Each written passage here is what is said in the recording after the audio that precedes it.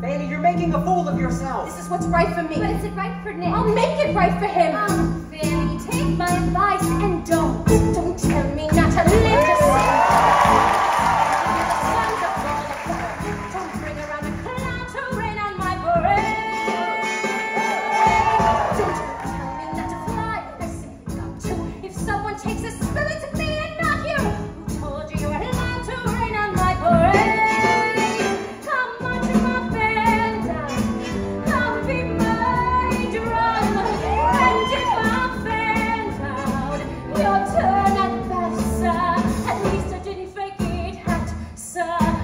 I didn't make it, but whether I'm the rose of sheer perfection, a freckle on the nose.